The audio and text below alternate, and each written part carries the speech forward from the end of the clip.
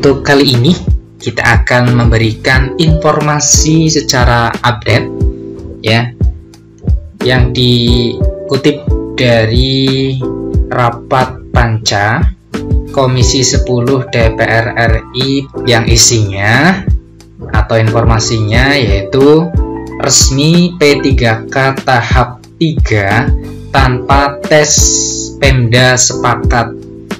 Nah, semoga informasi ini benar-benar valid ya atau bukan wacana lagi. Jadi untuk yang sudah passing grade ya sudah dinyatakan lulus ya mendapatkan nilai di ambang batas. Semoga tahun ini bisa menjadi pegawai P3K guru. Ya. Simak baik-baik informasinya.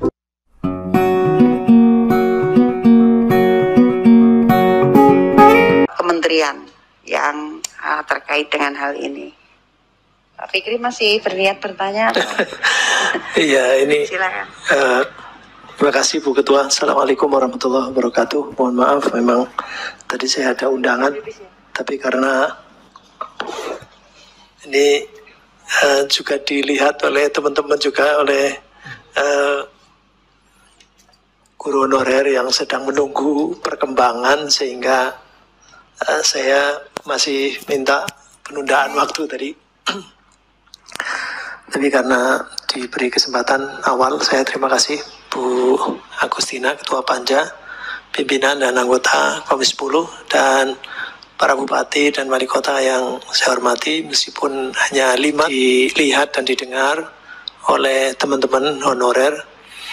Jadi problematika eh, rekrutmen satu juta guru P3K ini kan eh, yang mendaftar ada 900 sekian ribu. Kemudian diterima lolos passing grade dan ada formasinya, ada eh, 293 ribu.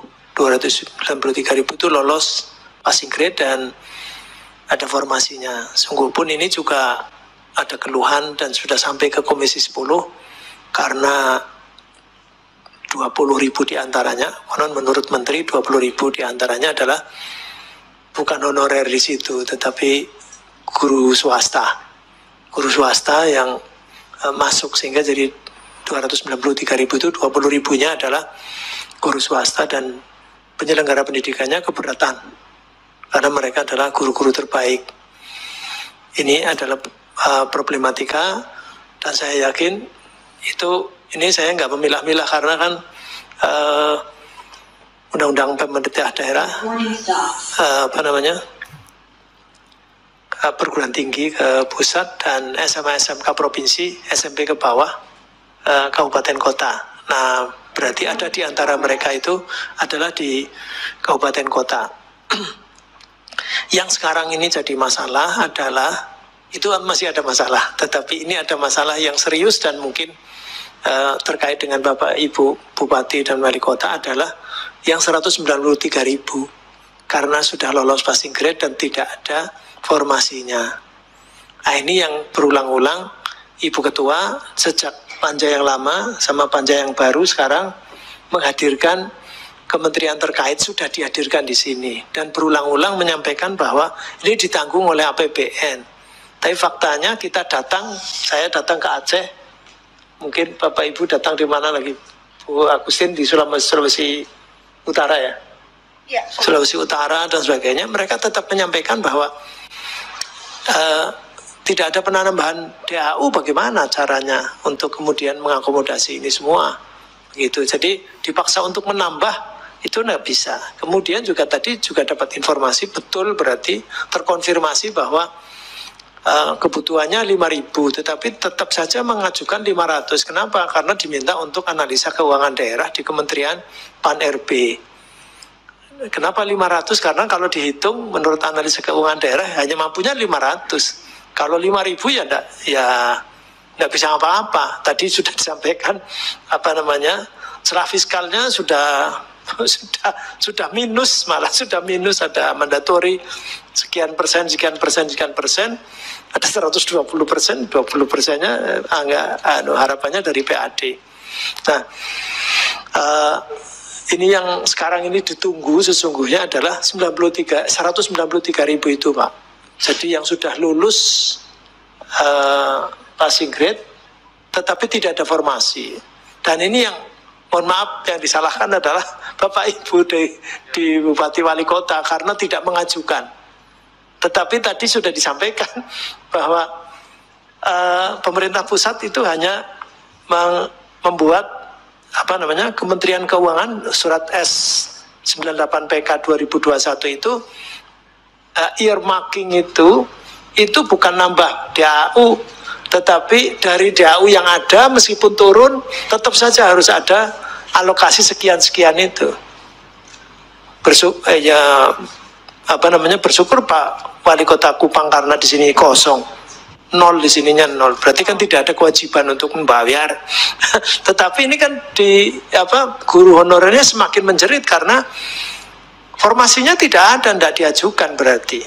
Meskipun tadi disampaikan katanya ada keterlambatan ya Pak. Pak wali kota tadi. Ada beberapa mekanisme yang memang ini. Jadi Bapak Ibu saya kira eh, paham betul bagaimana eh, apa namanya mengajukan formasi dengan kondisi tadi.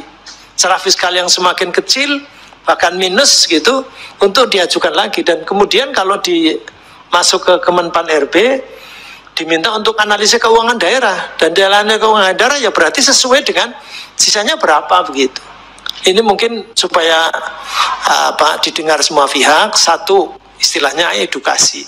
Supaya semua paham.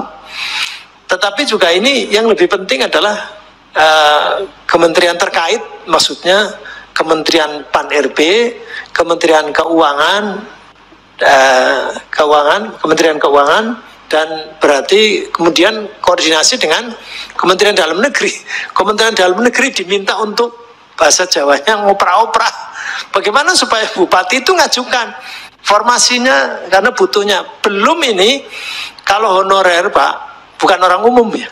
Bukan peminat umum, honorer saja ada yang istilahnya tadi belum lulus. Itu 400 ribu lebih. Ini kan tidak bisa dibiarkan begitu saja karena mereka sudah mengabdi. Mereka sudah mengabdi dan ya tetap dia bukan pencari kerja, dia sudah kerja dia sudah kerja, sudah mengabdi ke negara dengan kondisi status yang nggak jelas. Jadi P3K juga bukan, PNS juga bukan. Saya kira ini saya hanya nyampaikan nanti untuk kemudian menjadi catatan panja agar tadi kementerian-kementerian uh, terkait termasuk kemudian uh, mungkin ini lagi yang menunggu adalah SK yang sudah lolos jangan sampai seperti 2019 SK-nya baru keluar 2021 2021 faktanya ada beberapa yang sudah meninggal dunia dan sebagian sudah masa pensiun. Jadi nerima SK kemudian langsung pensiun. Lantas apa gunanya? Ini saya kira mungkin itu nggak tahu. Kalau tadi Bu Ketua hanya menyebut apa namanya panjangnya ya. Ada satu tahun ada yang dua tahun, ada yang lima tahun. Nah, sekarang ini tidak hanya satu tahun, dua lima tahun, tapi SK-nya aja belum. Assalamualaikum warahmatullahi wabarakatuh. Waalaikumsalam warahmatullahi wabarakatuh.